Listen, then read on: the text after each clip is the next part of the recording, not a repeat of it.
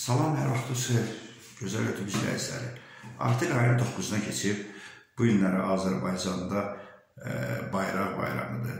Bütün Azərbaycanlılar, istəyir Azərbaycanda yaşayan Azərbaycanlılar, istəyir Azərbaycandan kənarda yaşayan Azərbaycanlılar, hamımızın bayraq bayramı mübarək olsun.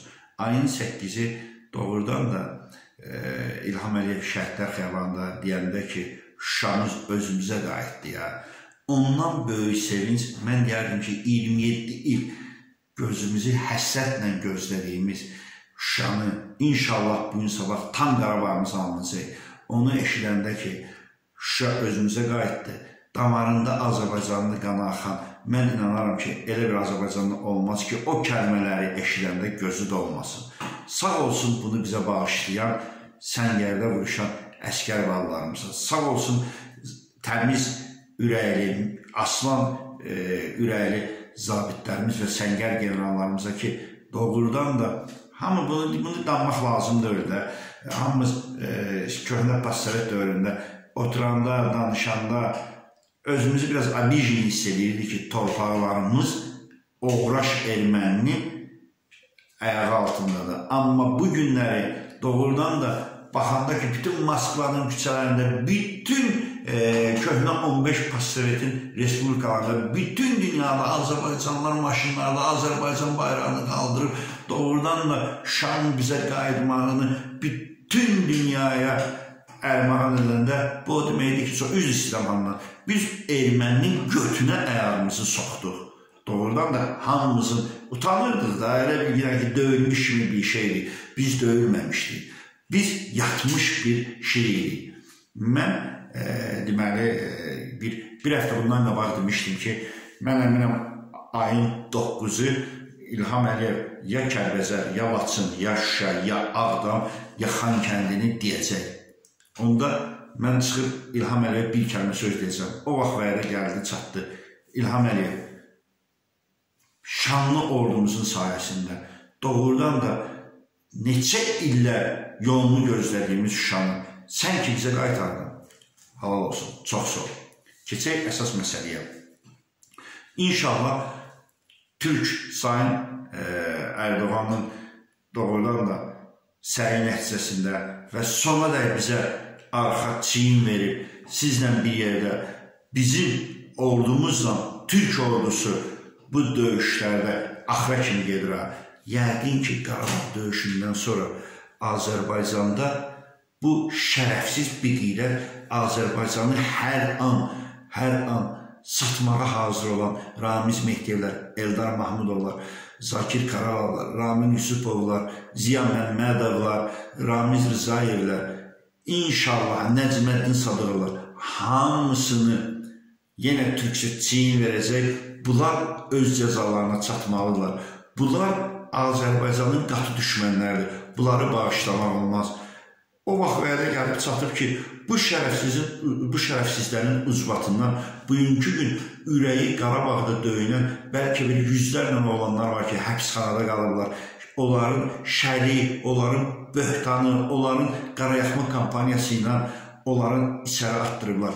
Bu günləri istəyir köhnə postsovet dövrdə istəyir Azərbaycanın Avropada, istəyir e, kənarda olan eşidən oğlanlar var ki, küsüb gediblər haqsızlığa e, və Azərbaycanda bunların törətdiyi cinayətlərə dözə bilməyib Azərbaycandan çıxıb gediblər. Necə bugünkü gün mavi ekranda deyəndə ki, Şuşamız özümüzə qayıtdı. Mən əminəm ki, onların ürəyi partlayırdı. Qarabağla onların ürəyi döyünür. Şuşamızla döyünür. Laçınımızla, Kərbəzərimizlə bütün alınmış torpaqlarla döyünür.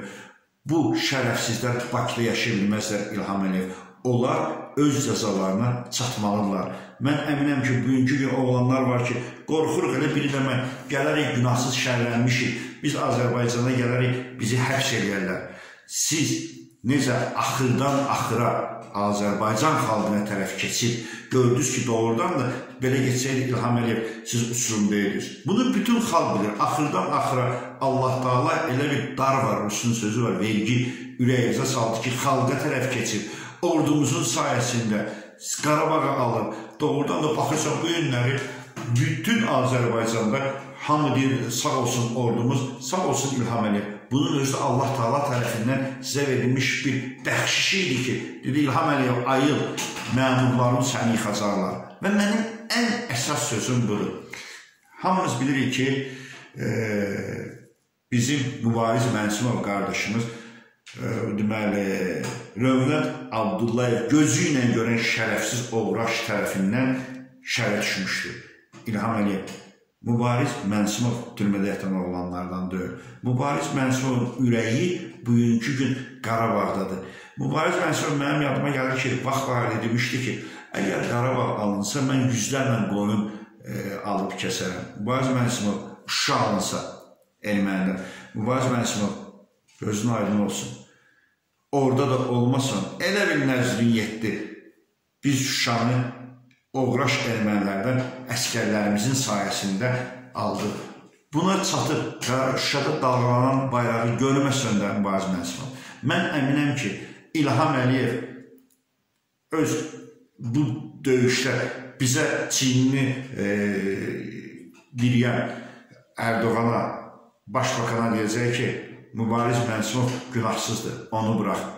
Mən əminəm ki, Qarabağın alınan gündən ən axırıncı kəlməsi alınan kimi siz o arzunuzu ora yetiriləcək və gəlib o qoyun nəslərini paylayacaqsınız. Mən də bu efirdən 100 sənə qoyunlara gücüm çatmasa da, Mübariz Məsimov, sizin çıxmağınıza 10 dənə qoyunu mən nəzr edirəm və sağ olsun bütün Azərbaycanda yaşayan başqa millətlərdən, başqa xalqlardan olan talışlarmı, dağlılarmı, avarlarmı, ləzgilərmi, tatlarmı, ruslarmı sizin qabağınızda baş əymək ki, siz oğlanlarınızı, balalarınızı bizim Azərbaycana görə yönətdiniz ki, gedin, vuruşun, balalarınızı qurban verirsiniz ki və verirsiniz ki, gedin, vuruşun, bu uğraşdan Azərbaycan torpağımızı alın. Siz Biz hamımız bir Azərbaycanıq və mən ən əsas, yenə bir daha deyirəm, İlham Əliyev, Mübariz Mənsimov türmədə etası oğlandır. O bugünkü gün, inanın ki, bugünkü gün hərbini maliyyələşdirməyin bir qolu gücü çatan oğlandır ki, o öz sərvətinin, sərvətinin yarısını Qarabağın alınması üçün qurban verərdi.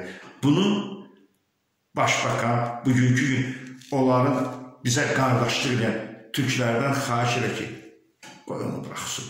Eləcə də Avropaya küsüb gedib və Azərbaycandan didərgin düşüb gedib, hərə bir şey görə inciliyə gedib. Biz bugünkü gün bir olsaq hamımız İlham Əliyev, bizə bu dılxır oğraş ermənilər yox ha, heç, heç bir dövlətlər bizə bata bilməz. Vaxt vədə çatıb İlham Əliyev. Necə ki, bu günləri şəhidlər xiyabanından dedim. İnşallah bu günlərdə bütün Qarabağın alınmasını deyəcəksən. Elə də dur deyilən ki, əziz mənim qəribdə milyonlar qazanır yaşayan həmvətənlərim. Qəribdə milyon qazanmaqdansa Azərbaycanda gəlin, mənim ətrafımda olun, soğan yiyin. Və sonra ikinci kələm deyirəm. Mən necə demişdimsə, siz ayın 9-u bayrağı dalğalandıracaqsınız Şuşada. Mən bir onu deyə bilərəm. Sağ ol İlham Əliyev. İkinci bir sözüm də var.